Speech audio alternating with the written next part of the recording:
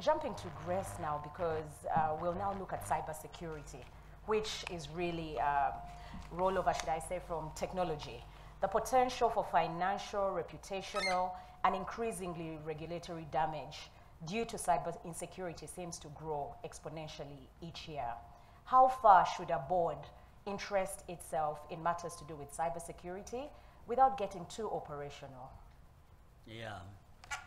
Uh, thanks, thanks, Rachel. Uh, now, I've been listening to uh, CDR Council Ruth here talking about technology and, and all the, the excitement about technology and the creepy, some uh, creepier than others.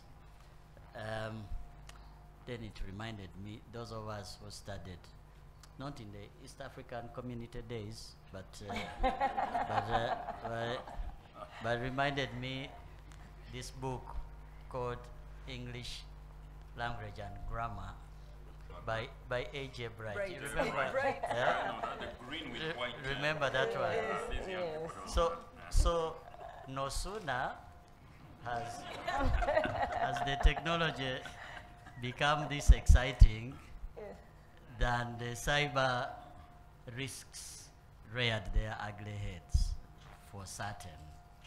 And, and I think uh, the people in the room here and the people in the virtual room certainly do relate to this uh, serious concern, serious risk. I don't want to play back what uh, Ruth has gone through. So, so I, I, I want to talk directly to, to the real concern around cyber.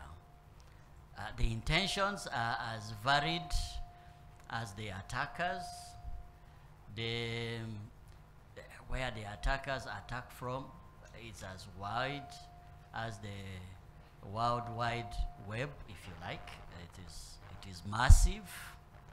They attack for so many reasons for you know uh, some are just basically misusing technology. For example i think there is a debate whether there should be a technology use control bill the, the lawyers introduced uh, a, a public order one. I'm sure they are about to introduce a technology order something bill very soon. Um, if you think about um, terrorism there is real cyber terrorism um, real and sometimes in prospect. Um, ransom, you know, um, attacks happen and, and they, they are looking to extract uh, ransoms from, from their victims, uh, stealing of information for all sorts of reasons, for intelligence, uh, for selfish interests, and some actually just do it just to annoy their victims and, and many companies have fallen victim to this. Now for the boardroom the concern for, for the boardroom the director sitting on a board audit committee or a board risk committee or indeed on the board. The real concern is whether today with this over reliance i want to emphasize the word over reliance on technology that organizations have adequate safeguards in the unfortunate event and i'm using i'm selecting the word unfortunate because the word unlikely is very unlikely in the current circumstances. It's, it's unfortunate stuff happens uh, and, and, and attacks do happen. So in the unfortunate event that this happens are organizations ready? Do organizations have what we call in our corporate governance speak uh, a crisis management playbook specific to cyber? How are they going to respond for example let me give an example if the attacker um, uh, closes out all your servers instantly and they send a message that hey yeah uh, 10 million dollars I was going to say 100 million dollars, but let me say 10 million dollars. you as a board, what do you do?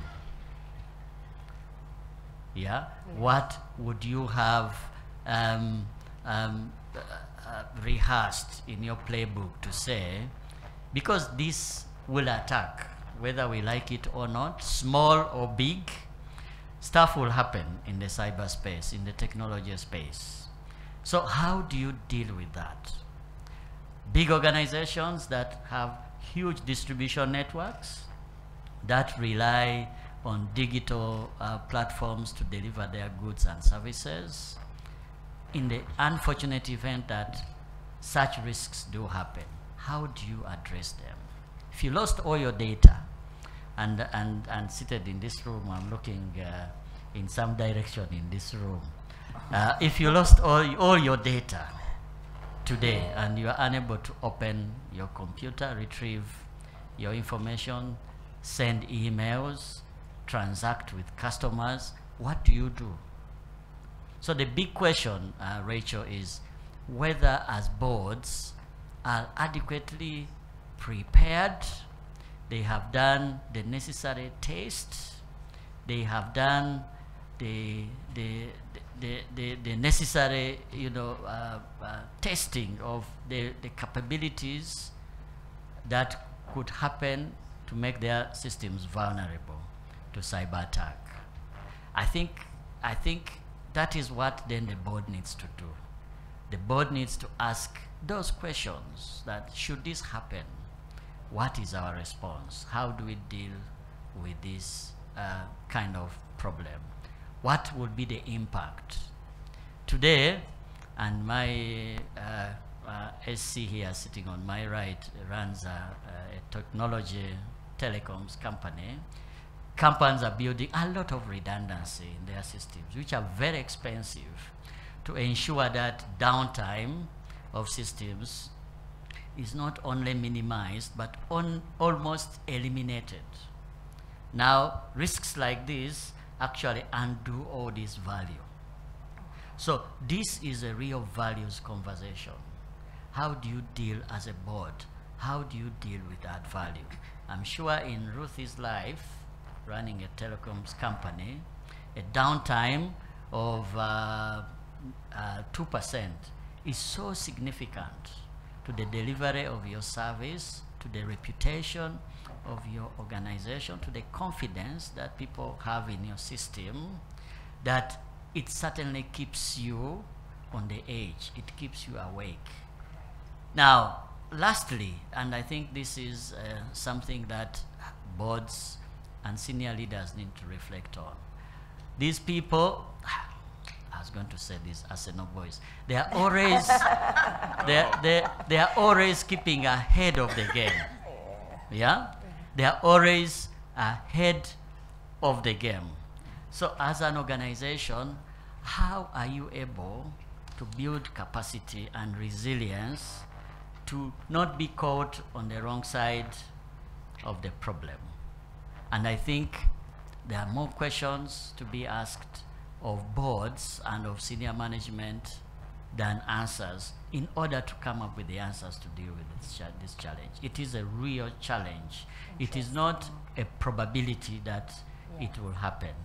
The Americans have a have a bad word that I'm not going to use here, but stuff happens. Yes, you know, if you're yes. American, you, you yeah, but yes. but stuff does what happen. But now, when stuff happens, then what do you do? What is your how response? You yeah, how do you deal? How do you deal with? How do you dig out uh, of the hole? Correct. Uh, to remain afloat. Oh, interesting, Thank interesting. Thank you very much, uh, Grace. Lot